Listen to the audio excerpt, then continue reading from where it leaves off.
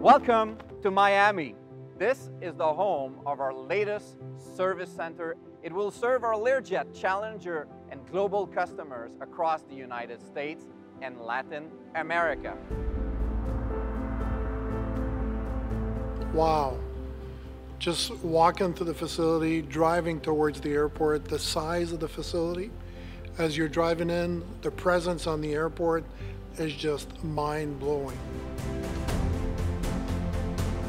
So the site was designed, uh, make sure to one, cater the operation maintenance, but also have an operation in our back shops and be able to have a full product services for our customers, making sure it's a one-stop shop for our customers across the globe.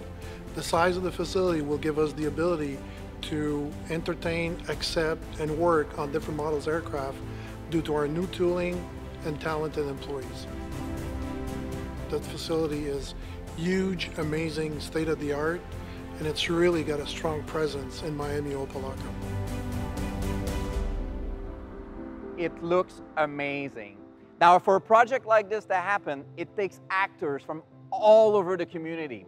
So thank you for every one of you that has had a role to play in making this a success.